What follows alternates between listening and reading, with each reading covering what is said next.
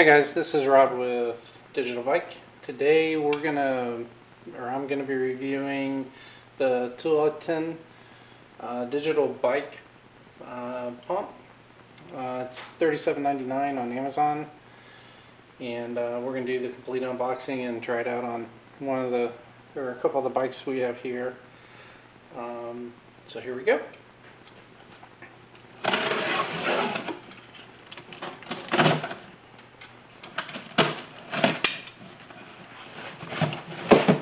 Hey.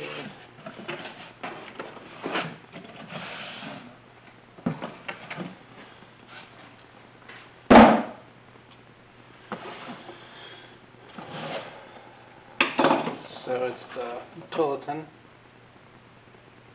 pressure. Uh, it'll do Schrader and Presta valves. Uh, 19.1 kilograms. Uh, so it's saying it'll do car, bike, moped, and motorcycle.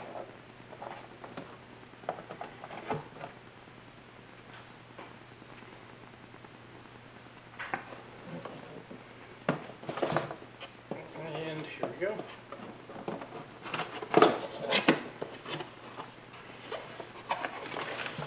So inside the box, doesn't look like there's any instructions. Um,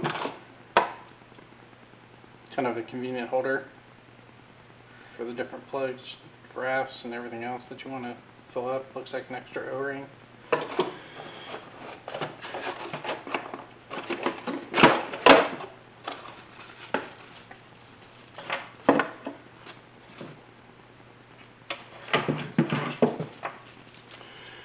It's, um, looks like extra feet, if I would have to guess. No, maybe not. It says lock, unlock on these. ah, so it's extra.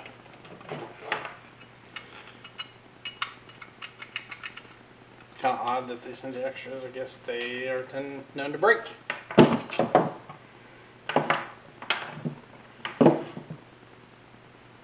Okay, let's pull out the battery thing. Hey, it lights right up. The battery door did open up when I did it, so I'll push that back in. And it's on PSI, which is awesome. And let's see if we can get it to unlock.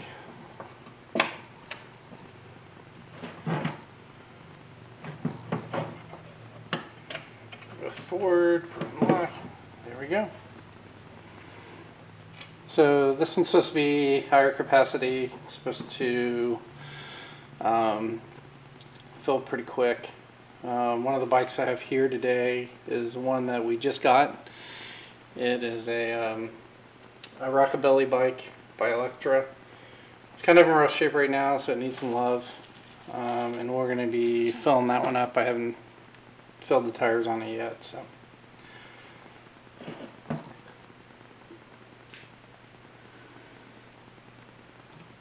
Alright guys, here we go. Um, we're gonna try out the new bike pump. The first one is the Rockabilly. Um, like I said, it's super dirty. We just picked it up. Uh, haven't cleaned it up, haven't done anything to it. It is as is here we go.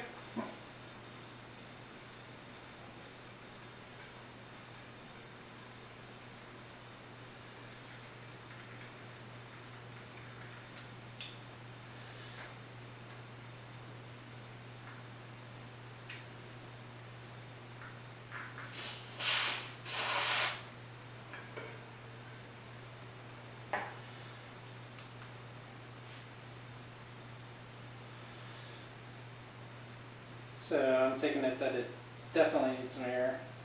Uh, these tires hold 50 pounds. The good news is they still have pressure on them.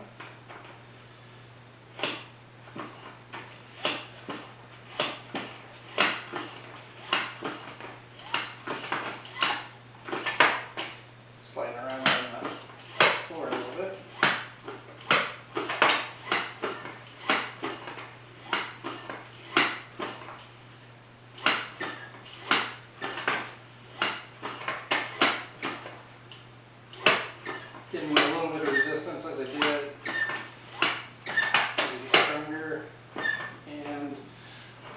finished floor in here. We do have sand down.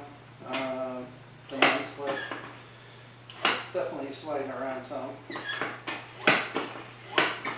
But definitely easier than using the hand pump uh, that I have mounted on the bike.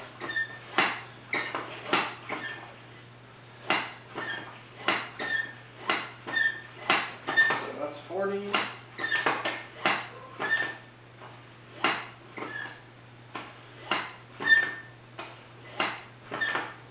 So we're getting about a half pound every time we pump.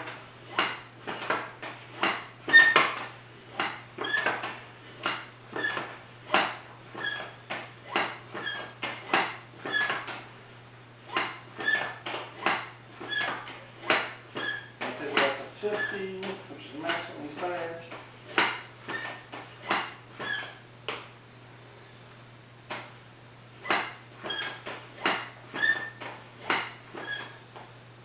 Taking a second for the gauge to settle down. And there we are, at 50 pounds. Yep. Must be leaking just a tad.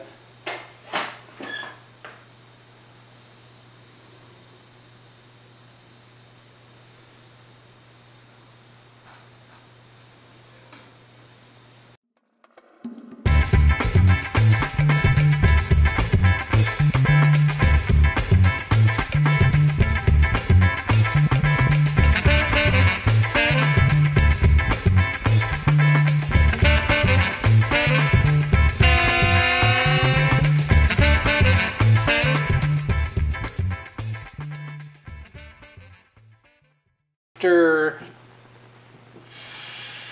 completing filling up the bikes, or at least those two, um, the bike worked pretty, or the bike pump worked pretty quick. Um, we did have one issue, and we'll see if it picked it up. Um, this pad slides off like so. And so it, it slid off as we were, as I was pumping, my foot slid off and it pulled the whole pad off with it. So this part of the, the foot pump is really slick with oil at this point. So, um, do I think it's a deal breaker? No, you just have to be careful. It's kind of a, just something to be careful and watch out for. Um, having the digital gauge is nice because you know exactly where you you stand at that point. I did move all the accessories down. Um, as I was pumping, they were getting in the way, getting caught up in the spokes as I was pulling it off. It says it'll go up to 160 pounds. I don't know if it'll be legitimate to go that high with it. It's probably gonna, you're probably definitely gonna be standing on it pretty hard. I'm a big dude. Um, you know, six foot two, 290. So if it's a smaller person, it may be a little more work trying to get all that air to push through that. Um, it's definitely at this point, uh, I would say it's worth the, the $38 to go ahead and get it. I was using a little hand pump, uh, pumping up the tires that I carry with me when I ride. So, um, and so it's the Toolitin foot bike pump. You can find it on Amazon, and um, I think it's a good choice. At this point, we'll keep you updated as I use it.